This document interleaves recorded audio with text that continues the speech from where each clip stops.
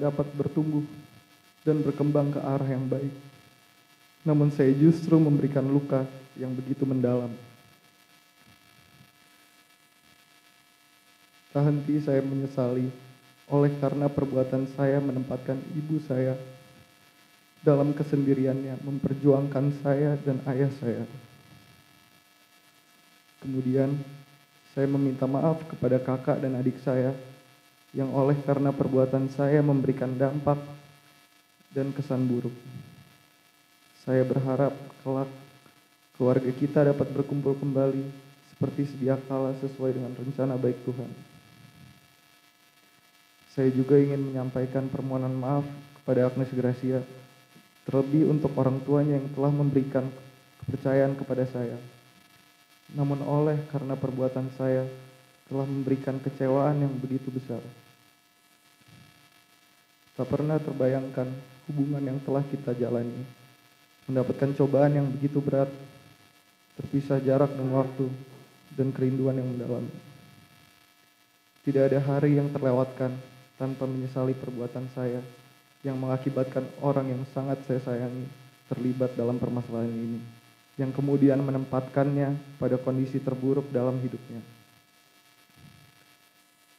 Dengan pertimbangan yang kurang terukur, saat mendengarnya mendapatkan pelecehan seksual, saya menemui kebuntuan yang berdampak pada tindakan-tindakan kekerasan. Dengan penyesalan yang mendalam, tidak ada hentinya saya berdoa agar kita dalam melewati masa sulit ini. Saya mengucapkan permohonan maaf saya kepada Shane Lucas, teman saya yang tidak mengetahui apa pun tentang permasalahan ini, namun harus bermasalah dengan hukum.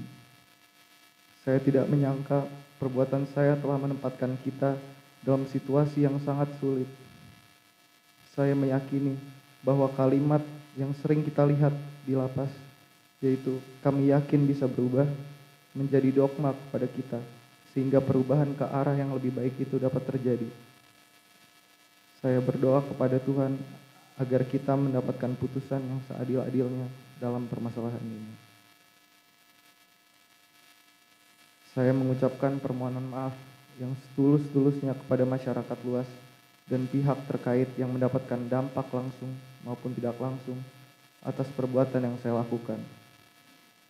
Semoga kesalahan yang saya lakukan menjadikan saya lebih baik ke depannya. Majelis Hakim yang mulia, selama penahanan, saya menyadari dampak yang terjadi atas perbuatan yang saya lakukan. Tak pernah terpikirkan peristiwa itu akan terjadi. Seumur hidup, sedikit pun saya tidak pernah menyukai kekerasan, bahkan memiliki suatu niat atau rencana atau pikiran untuk melukai seseorang. Tak pernah terbayangkan saya dapat melakukan kekerasan yang seharusnya tidak ada dalam pertemuan itu. Saya sungguh menyesali kejadian itu karena memang pada dasarnya tidak ada niat atau rencana untuk melakukan kekerasan itu. Saya menyadari bahwa kurangnya pengendalian emosi dan amarah saya yang secara spontan meluap begitu cepat, menimbulkan kejadian tanpa sedikit pun pertimbangan. Saat kejadian itu, saya mengakui emosi saya telah mendahului akal sehat saya. Saya memohon kebijaksanaan majelis hakim yang mulia untuk tidak tergiring dengan opini negatif dari publik dalam memeriksa dan mengadili perkara ini sehingga tercipta keadilan berdasarkan kepantasan dan kelayakan. Majelis Hakim yang mulia, pada kesempatan ini saya juga ingin menyampaikan rasa kecewa atas tuntutan jaksa penuntut umum yang menuntut dengan pidana maksimal tanpa sedikit pun mempertimbangkan alasan-alasan yang meringankan. Seumur hidup saya, saya belum pernah sekalipun bermasalah dengan hukum. Dengan usia saya yang masih 19 tahun, saya mengakui bahwa saya kurang bijak dalam mempertimbangkan resiko jangka panjang, di mana seharusnya emosi dan amarah menjadi suatu cobaan dan tantangan untuk dikalahkan. Pada usia muda ini, saya meyakini bahwa saya masih dapat memperbaiki diri menjadi jauh lebih baik dengan meninggalkan cara-cara hidup yang salah dan berubah menjadi pribadi yang baru untuk menyongsong masa depan yang lebih baik. Majelis Hakim yang mulia, saya mempunyai pendapat bahwa hukuman yang dijatuhkan pada seseorang yang melakukan tindak pidana bertujuan untuk membina agar orang itu dapat sepenuhnya menyadari kesalahannya, bertobat, dan berubah menjadi pribadi yang lebih baik, bukan untuk membinasakan atau menghancurkan seluruh hidupnya. Dengan penuh harapan, saya meyakini dengan usia saat ini saya masih dapat merubah sikap dan menggapai masa depan yang lebih baik untuk hidup saya kelak nanti. Selanjutnya, saya mengucapkan terima kasih kepada Lembaga Pemasyarakatan Salemba yang telah memberikan pembinaan dengan baik kepada saya, sehingga mendorong saya untuk melakukan pertobatan. Dalam penjara ini, saya menyadari bahwa banyak keluarga yang saya cintai mendapatkan penghukuman atas perbuatan yang saya lakukan. Penghukuman tersebut telah datang sejak awal, secara langsung maupun tidak langsung dari kalangan mana pun. Hati saya sangat tersayat ketika mendengarkan adanya berita yang kebenarannya tidak dapat dipertanggungjawabkan. Dengan menyebut bahwa saya telah melakukan pelanggaran hukum yang banyak dan dapat menghalalkan segala cara untuk mencapai suatu tujuan dan menyatakan saya mempunyai kekebalan hukum. Lebih lagi, tuduhan-tuduhan serius yang bersifat negatif lainnya ditujukan kepada keluarga saya sehingga menimbulkan rasa kebencian yang meluas terhadap saya dan keluarga. Saya berharap majelis hakim yang mulia dapat mempertimbangkan penghukuman-penghukuman yang telah saya terima maupun keluarga.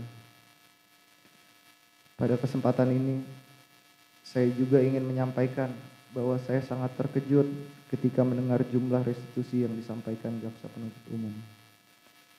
Sejak awal kejadian, pertanggungjawaban atas kerugian yang dialami keluarga korban menjadi suatu beban moral bagi saya. Dengan jumlah restitusi yang sangat besar tersebut, maka dengan itikat baik, saya bersedia membayar restitusi sesuai dengan kemampuan dan kondisi saya. Yang mana saat ini saya sedang menjalani hukuman pidana, belum mempunyai penghasilan, dan tidak memiliki harta apa pun. Saya memohon kepada majelis hakim yang mulia agar dapat mempertimbangkan hal ini sesuai dengan kondisi saya dan hukum yang berlaku.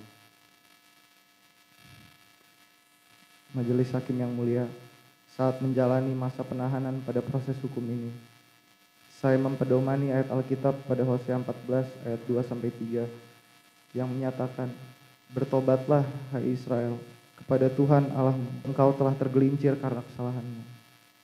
Bawalah sertamu kata-kata penyesalan dan bertobatlah kepada Tuhan. Katakanlah kepadanya, ampunilah segala kesalahan sehingga kami mendapat yang baik, maka kami akan mempersembahkan pengakuan kami." Ayat tersebut mendorong saya benar-benar untuk bertobat dan memohon ampun kepada Tuhan, kepada keluarga saya, kepada keluarga besar David, terutama kepada David sendiri. Sebab saya telah melakukan kesalahan yang mengakibatkan kondisi kesehatan David seperti sekarang ini.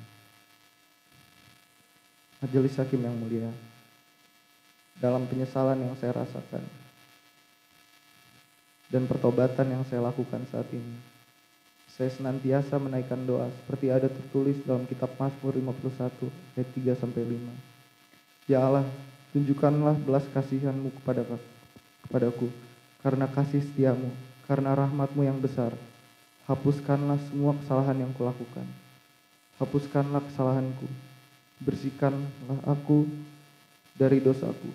Aku tahu bahwa aku telah melakukan yang salah.